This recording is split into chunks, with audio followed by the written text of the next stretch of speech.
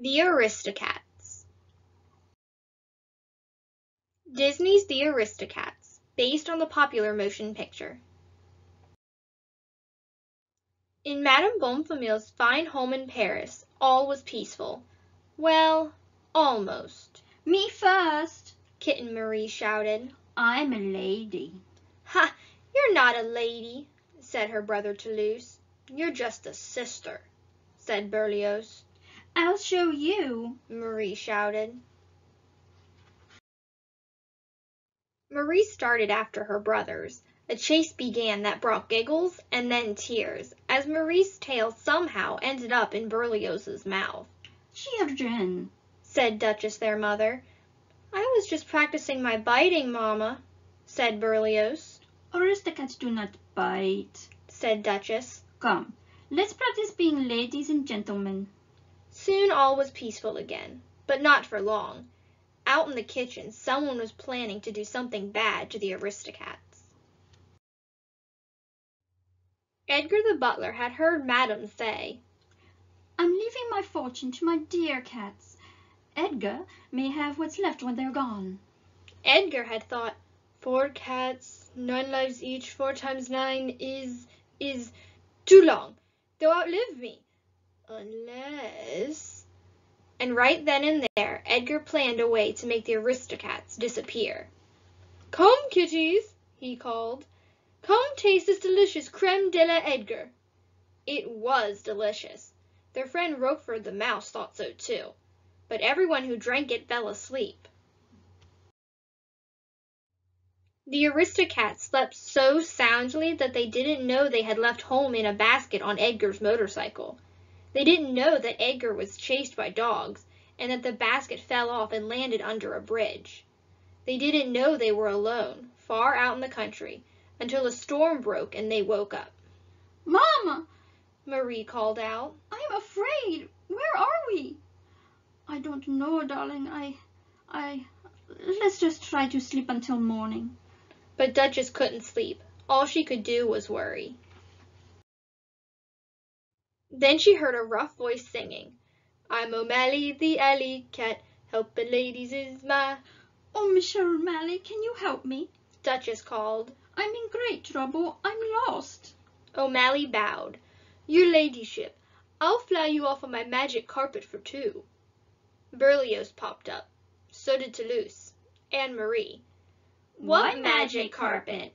They asked. Uh, er... O'Malley stammered. Then he grinned. Look, I said magic carpet for two, but it can be a magic carpet for five, too. He made an X on the road. It'll stop for passengers right here. Watch.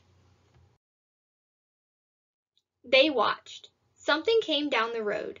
O'Malley made himself big and scary looking and jumped out in front of it. The something stopped right on the X. All aboard, said O'Malley. One magic carpet, ready to go. Oh, it's just a truck, said Berlioz. Shh, said Duchess. Then she smiled at O'Malley. It's a lovely magic carpet. Is it going to Paris? she asked. It's going somewhere, said O'Malley, helping her on.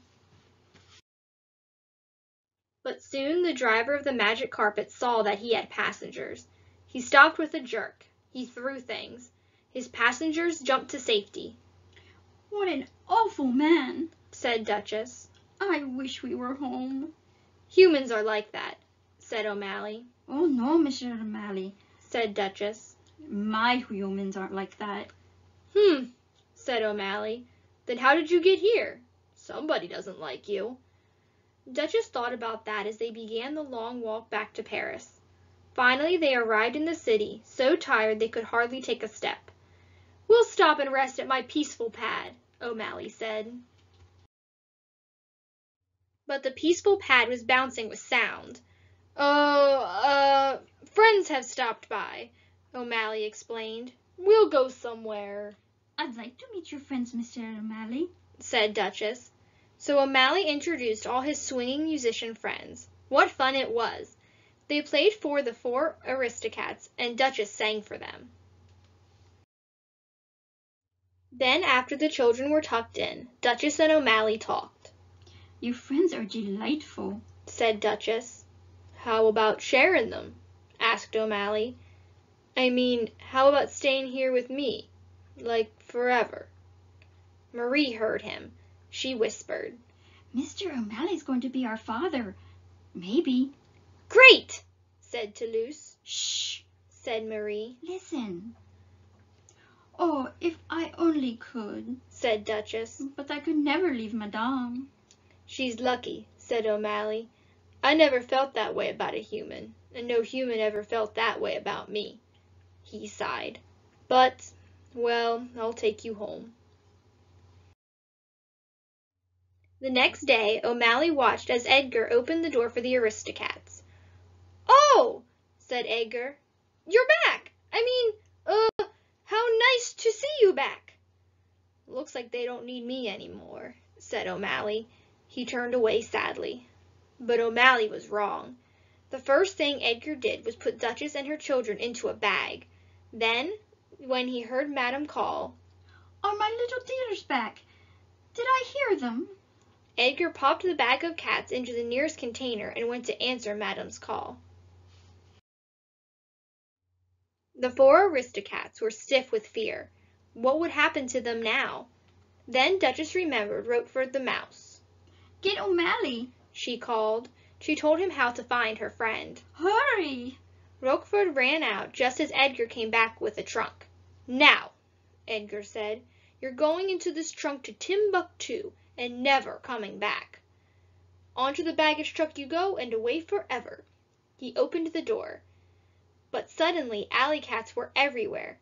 Two unlocked the trunk and let out the Aristocats.